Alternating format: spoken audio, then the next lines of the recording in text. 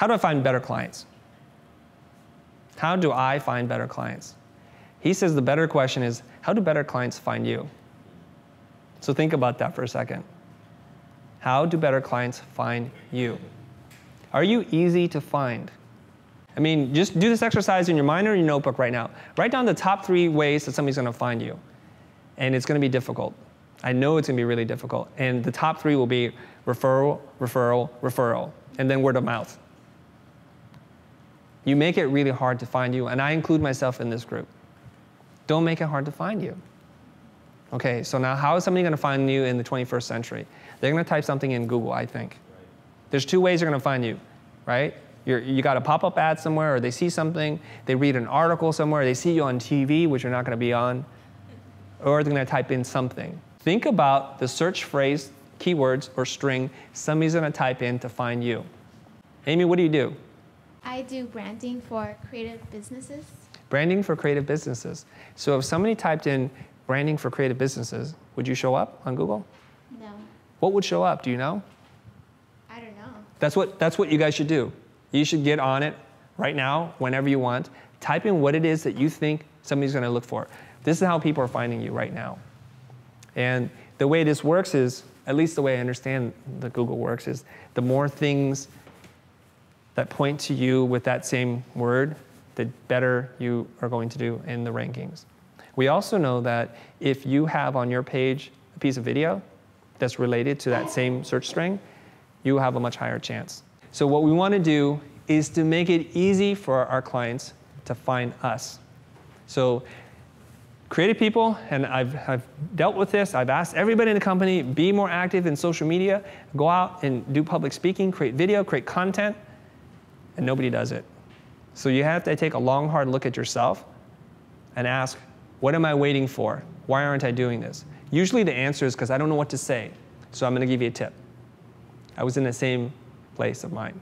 Now, how many of you guys collect images on Pinterest or, or have a swipe file, like a folder where you just drag cool inspirational things into? Or you know, you use iPhoto, you have a thousand, ten thousand, a hundred thousand images. Here's one thing that I do. I just go in my photo bucket, like, huh, that's an interesting photo. What can I write about that photo? What kind of caption can I provide that creates value for the people who are looking for me? So writing about food, unless I'm a food blogger and that's how I want to build a career, I don't want to talk about that at all. So let's say I'm a packaging designer. Well, go take photos of great packages and write a little critique. Sooner or later, people that are looking for the foremost expert, the thought leader in packaging design, go up. You know, whenever they have a new logo design, redesign, you know who they call? I almost call, always call the same people. Pentagram Design. What do you think about the new X logo? And Michael Bierut will weigh in on it. He's become that guy. I consume content like you cannot believe. I'm usually on my phone watching Game of Thrones and reading a magazine if I can. You know, it's like this, it's crazy. And what I do is if I hear something, if I see something in Time or whatever magazine I'm reading, I stop. I open up Keynote on my iPhone. I type it in. There it is, boom. I just save it. I kick it out as a PNG or screen cap on my iPhone, and that goes into my Twitter feed whenever it's ready. So I'm doing note taking, social media, micro content continuously all the time. I just look at Facebook, Twitter, and Instagram as my diary of ideas. That's all it is. And I put that out there. The key here is that you don't always market to your people. That's the problem. Some people are very active on Twitter, Pinterest, and Instagram, but it's just really marketing all the time. It's like so noisy to me, I don't want to do that. So Gary Vaynerchuk says something like jab, jab, jab, right hook. Give three pieces of content are valuable, then ask for a sale. And be genuine, be open, be transparent about that. Now, if you guys were to grade yourself on a score of 1 to 10, how are you doing in terms of making easy for good clients to find you? What score would you give yourself? I don't expect you to say that out loud, but just think about it. I know it's not going to be a 9 or a 10. You would not be here right now. It'd probably be really low. So let's work on it. I'm going to tell you one other way to generate leads. It's worked well. Is I like to market to marketers. Okay, why? Because marketers want to sell and they need design. And they understand they need great images, great campaigns, They need video because they want to sell something.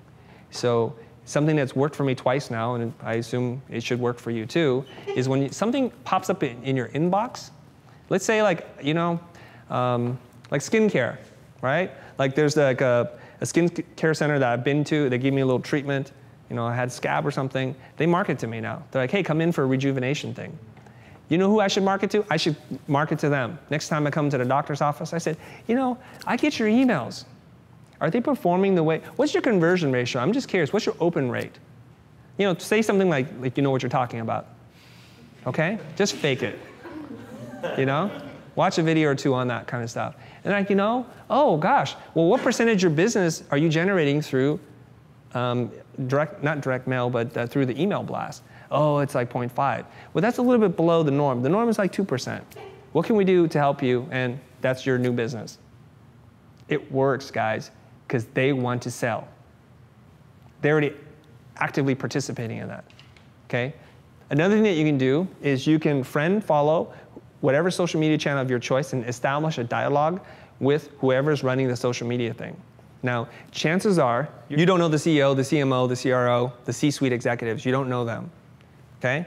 So since you don't know them, you don't know if, I don't know if you realize this, but they don't manage their social media channel. Usually it's some young person it's like, oh yeah, I use Snapchat, I can do this. They're much more likely to have a conversation with you and bring it up the chain. Let's look at it like this. When you see a piece of content on the internet, what do you respond to yourself? Something that entertains you, something that teaches you something. And that's what Google said, advertising is dead. In the future, all people care about are two things, entertain me and inform me. Teach me something. Now, here's one thing. You guys know about content marketing, right? Content marketing, and then there's micro content marketing, micro content, which is you just take a big pizza, you pull the pepperoni off, and you sell that to somebody. Then you take the crust, you scrape the cheese, you break up this big old thing, and just make it like these bite-sized snackable pieces of content. So if you write a long article that's got seven points in it, you just block it off as tip one, and you just put it out there, okay? And then you turn that tip into a graphic and you take the whole seven points and you make an infographic. It's the same piece of content reprocessed for the audience that wants to see it. So if you have uh, my five hacks for social media on Twitter, a lot of you guys in here are graphic designers, you can probably make a really beautiful piece of design, an infographic that will get you noticed and make sure it backlinks your site, that you got all the meta tags in there, and then break that up. You put your image up, you edit all the crap. Just get rid of all the dog photos. And if you don't want to be a dog groomer, don't put the dog photos in there. Edit out your channel. Okay? The reason why you follow somebody on Instagram is you look for consistency. 7, 10, 12, 15 posts of similar things, I'll follow you. Okay? People that post all sorts of things like a toy, this and that, it's like I don't, I don't follow them on, on Instagram. You have to be a master at the hashtag game. You have to be a master of the hashtag game. So you test the hashtag just like you test the titles in YouTube. Put in your hashtag, see what comes up. If they're like the people you want to be like, if you push out eight or nine pieces of consistent content, you will start to be discovered for that thing. Now, we have a friend, her name is Tuna Bora. She's up to what, 40, 70,000 followers? She does one watercolor painting a day forever. She's been super consistent. And her followers are going through the roof. You know the, that guy, uh, Seb Lester, the calligraphy guy? He does one thing. He's not showing you how to juggle. He doesn't play video games. He's just a really good calligrapher. And so he has over a million followers on Instagram. So think about what your, your vertical is, own it, hashtag it, keyword that. It's consistent, right? We're going to keep doing that thing over and over again. And from what I understand, I don't do this myself, I need to do it email marketing is still very effective, relatively speaking. You need to start capturing emails addresses right now if you haven't done so. So how and why would anybody ever give you their email address? Why would they do that? Well, they're not going to give you their email address because they know you're going to spam them. So what you have to do is you have to provide something of value to them. It's an exchange. I remember when I was new to shooting video, I went to, um, what is that uh, site? nofilmschool.com. And No Film School has a little thing, looks like a book. It says No Film School DSLR shooting guide. You want to download the guide? Put in your email address. I put in my email address, fine. And I get their newsletter. It doesn't come too often, so I'm not annoyed by it. And they're a news site, so I'm okay to see that. But if you keep hitting me with sales and sales, I will drop you. Okay? So that's what they do. So what you want to do is provide a piece of content that's valuable to them and capture emails and build it up. The other thing that you know, need to do, and I don't do, but I've heard this, I've, I've gone to seminars on this, is you need to segment your email list as, as best as possible in many ways so that you can just target. Targeting is really important, either for ads or for uh, whatever else that you're doing. Okay, so these people um, are in this age group or in this industry. So that when you need to hit them with something, you're not sending out a mass email to everybody, just to the people that need to see it. When it comes to social media, you have to actually care. It's not like in Google, you can set up your keywords on your ad and you leave it alone. You can't just post an image and be like, I hope 20 people like it. Like, you have to actually care or don't even bother. Like, if you don't care about your community, if you're not liking your followers' stuff, yeah, it's like you have to be genuine and you have to be authentic, or don't even do it. If you're not tweeting with other people, why are they gonna do it with you? So, and you're in it for the long haul. Like that's how I've done it. I don't have millions of followers, but my engagement is much higher than Incredible. the big the bigger brands because I care about my followers. But like for me, what I do is a lot of film. So when I put film on there, it's kind of like always consistent of what I do and, and stuff like that. So I get people to engage, and I love doing it. It's so fun. I'm like almost like every day I want to just put stuff out there and communicate and talk to people. So I think you have to really enjoy social. Like if you hate talking to other people, it's not gonna be fun for you. And also for the hashtag thing, like I just copy other people who's doing really well. That's not, then, that's what you're supposed to do. And then put put it into your notes, and you can copy it every single time. Yeah. Yeah. You keep. Yeah, that's right. You know when you say when you put it into your notes, like Evernote or something, so it's easy. You don't have to type it up again. So if you have three or four hashtags that you're going to include in the comment, just copy it. Okay. Yeah. I put it on my Google Drive. Sorry. Yeah. But also like if it you works. do like when I do photography, I'll tag um, brands that like I've shot with. Like I've shot like um, fashion brands, and I'll tag them, and sometimes they'll pick it up and they'll put it on their Instagram. And I've, I've done that for a few, and they've gone like 20, 30,000 likes. But you know that's how you get your name out there instead of Instagram. Guys, in case you're thinking this sucks, this is stupid, it takes up too much time, I'm not like that. Well, if you like what you have, just keep doing it. If you like the results you have right now, just keep doing it. Okay? I know it's not fun for some but over time, you start to learn how to do it, and then you get these followers, and then things start to grow and happen. Then you're like, okay, I like this now. You just don't like the results right now. And it does take work. It's like eating right and exercise. It does take work. Okay, uh, Frank's strange question: How important is being transparent on social media? I'm a fan of transparency. Everybody like lives likes to live this kind of very curated life, and everything's so perfect all the time.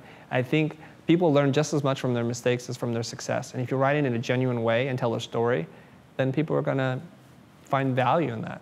One other thing that Carrie shared with me about Instagram from her expert is that think of your posts as a sequence, kind of an editorial sequence. Think about the story it's telling frame after frame as somebody scans through. So if you're going to talk about, um, say, I don't know, like film noir lighting, don't go from film noir to like technicolor to something else and come back to film noir. Kind of make it like a serialized piece of content. Think about it over seven, eight frames, okay?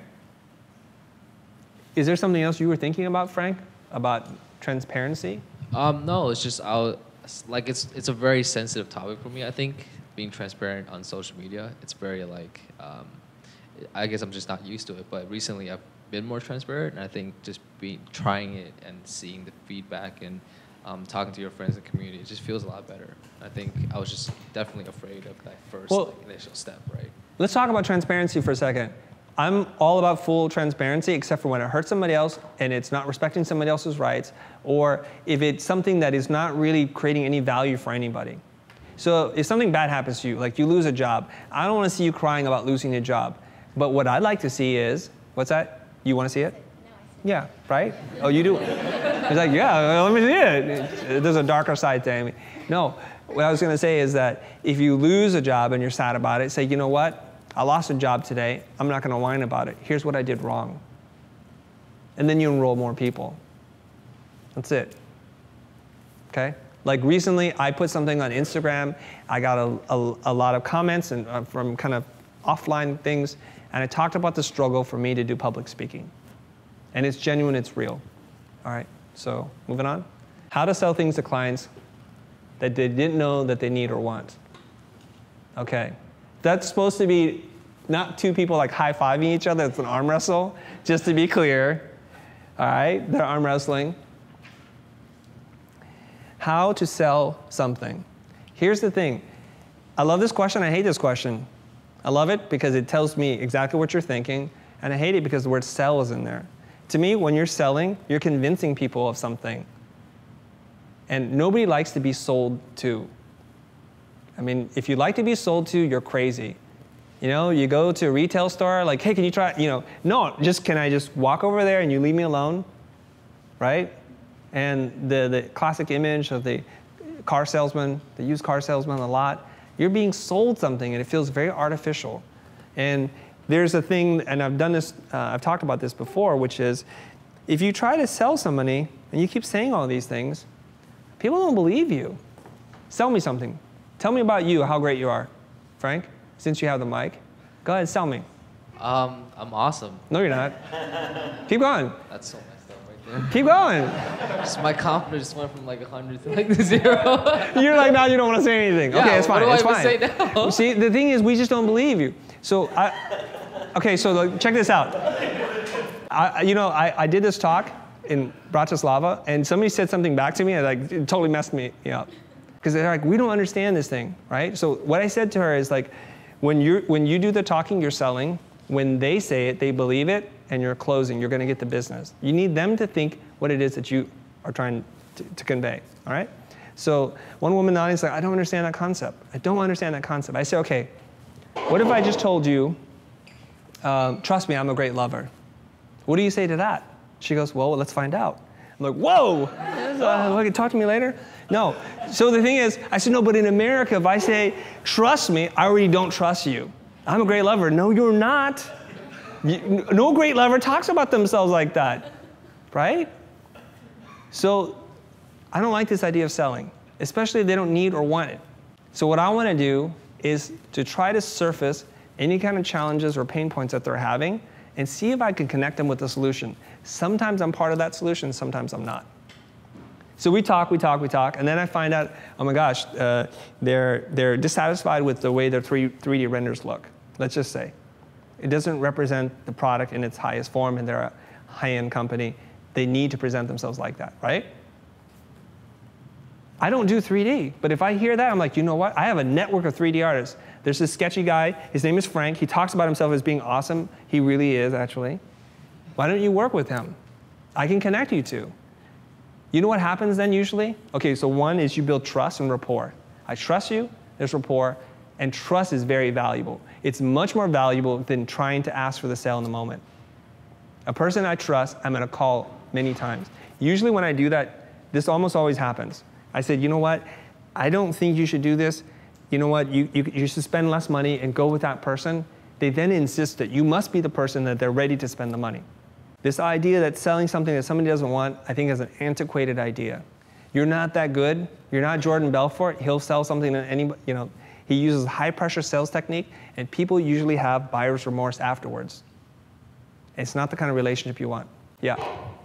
I think the question is rooted in um, like a client comes to you and say, "Hey, I need a new website," when in actuality they have a pain point that goes beyond their website. They think it's the website, and you are trying to sell them quote or pit- you know whatever uh, strategy is really what they need, or Right. something else. So I think that's what the real question is: How do you educate the client of what the real need is, rather than what they may think the need is?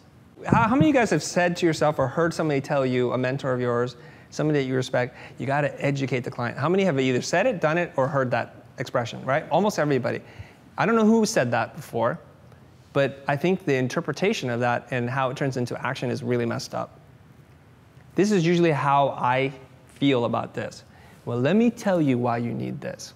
And you start to lecture me, you, da, da, da, you just get on my face. Just like Frank telling me he's awesome. Just get out of my face, okay? Because it's condescending.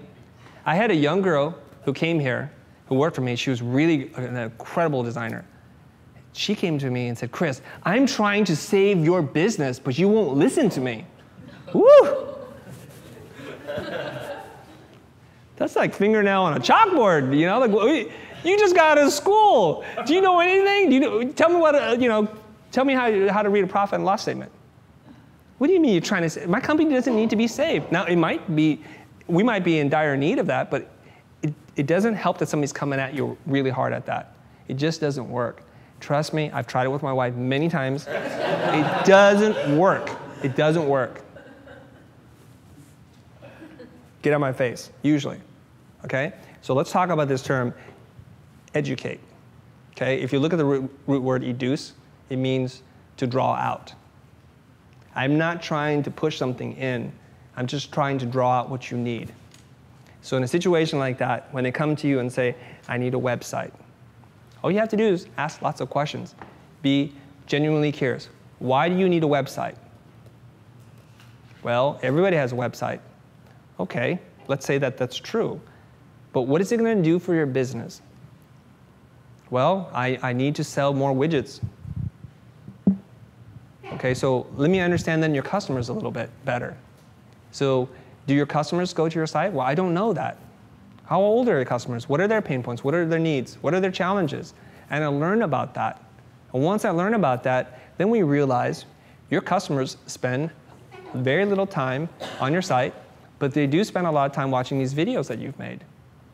Now, all things being equal, would it be better for us to spend $20,000 rebuilding your website or $20,000 making more video content for you? So then I'm going to figure out what it is. I'm drawing it out. Okay? That's the critical part. If you come into it thinking in every conversation, I'm going to sell strategy, I'm going to sell a logo, I'm going to sell uh, a brand for a creative business, that's all you're going to do. So if you have one tool, like a hammer, everything looks like a nail. That's not the way you service your clients.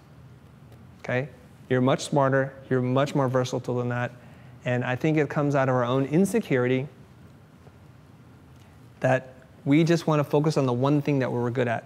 Remember before when I was telling you that the clients come to us and they ask us things about, you know, whatever it is, and I say, we're not the right players?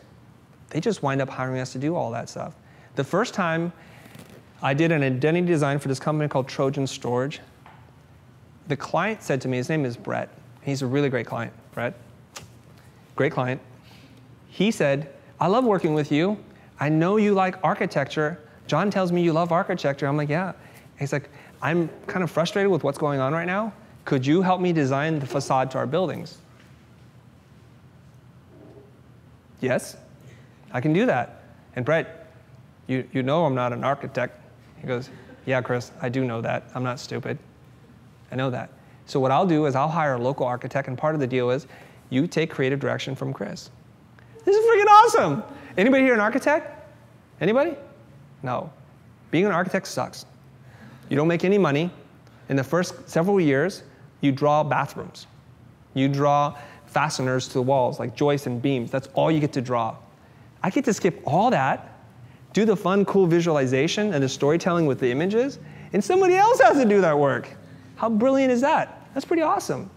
It's because I developed trust, and they're going to come to me for a lot more. And I'm open, I'm honest, and I, you know, I'm not trying to be something that I'm not. And it works out pretty well. I'm just open, okay? I'll build you an app. I'll build you a piece of furniture. I'll design it for you. If you trust me, we'll do it. But I don't want to go in there thinking, I need to sell you a website or architecture or anything else. That's the difference, Sean. Okay, is that cool? Yeah. All right, cool. Does cold calling, emailing work? I don't know if you can tell if this photograph gives it away or not. If so, what are some of the tips and tricks? I've done three cold calls in my life, all in year one, and it did not work. So maybe I, I wasn't as persistent as I should have been. But I find that when you cold call, people become really numb to that. It's like, you're not qualified. I don't know who you are, why you hit me up. The timing is bad. Remember, keep it in the family. Reciprocity. Well, you haven't done anything for me. Why would I do anything for you? We would rather hire a friend that would do a worse job than to hire a stranger sometimes that would do a better job just because we know that person and we'd like to help people out. Cold calling does not work. Cold emailing, same thing. It doesn't work. There's a warm lead versus a cold lead. A warm lead is somebody's already expressed some interest in you.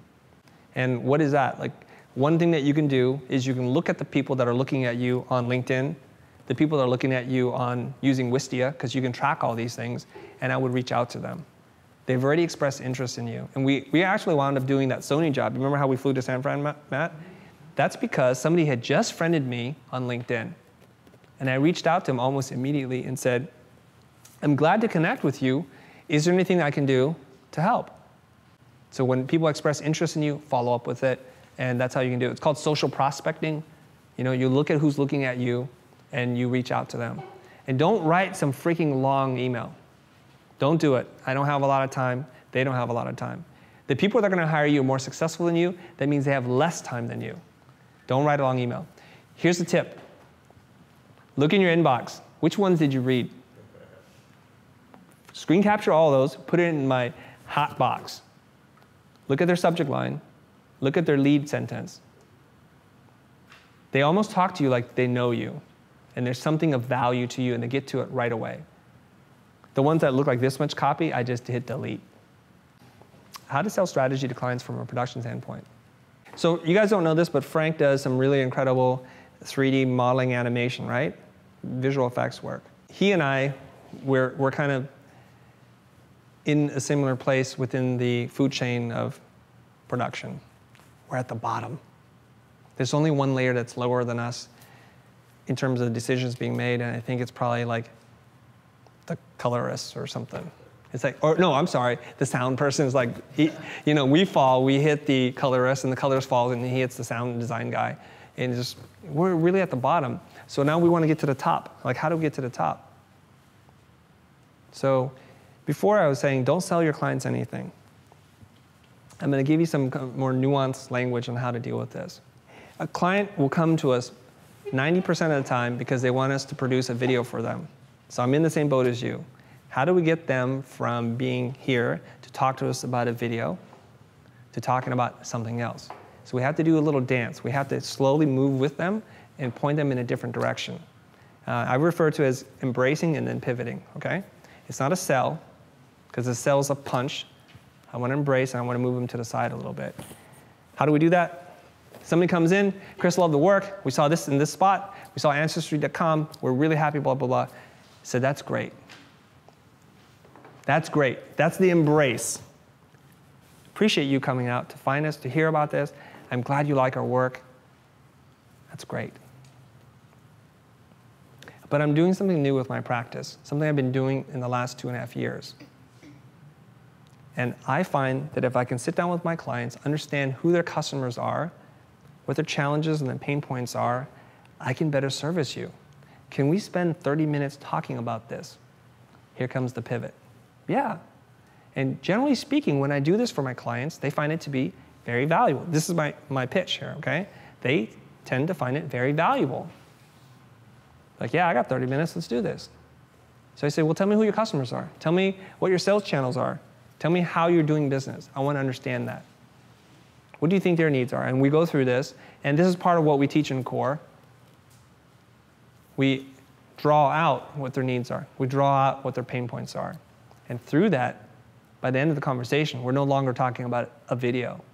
Like, you know what? You need to do the brand strategy deck for us. I'm like, okay, great. I forgot to tell you one other thing that I say, because I want to start planting the seed that what I'm doing is valuable and not free. Okay? Designers, creative types feel guilty to be paid for talking and thinking. When's the last time you charged money to talk and think? Right. We can only charge if we're on the box. As soon as we get off and the clients ask us, what should I do with this or that?